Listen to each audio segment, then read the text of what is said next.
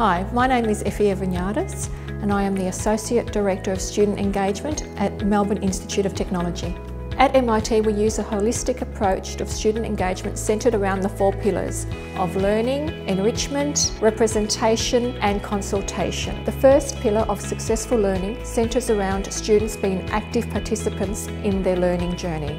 At MIT we run face-to-face -face classes but they are not your traditional, old school chalk and talk classes. They're basically interactive classes.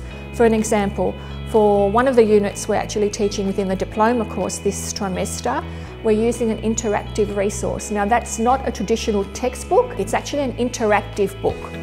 That is embedded within the student's Moodle shell, which is their learning platform. And as students are doing their week-to-week -week classes and activities, they're actually doing the interactive exercises within their class. At MIT, we strive to assist students with being more than good learners. We do this through our co-curricular and extracurricular activities. One of this year's extracurricular activities is our spring ball, which we're actually running a spring balls both at the Melbourne and Sydney campus. Now the spring balls are basically an idea that the students came up with themselves, therefore the students are actually running the spring ball. The seven students that are on the spring ball committee are enhancing their teamwork, their global awareness, and these attributes are part of MIT's graduate skills attributes. The third of the fourth pillars is meaningful collaboration. Now what this means is that MIT uses quality assurance framework for continuous improvement mechanisms. We are always trying to improve the service we offer the students. At MIT we place a lot of importance on student feedback.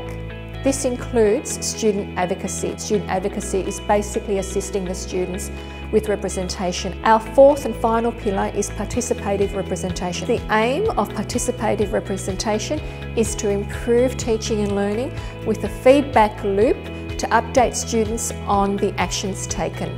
In essence, student engagement is in our DNA. It's, it's within our culture. It's at the heart of everything we do. At the end of the day, what I and every single member of staff strive for is to see the students graduate, having them undertake their course, pass their subjects and graduate and from there start their professional life.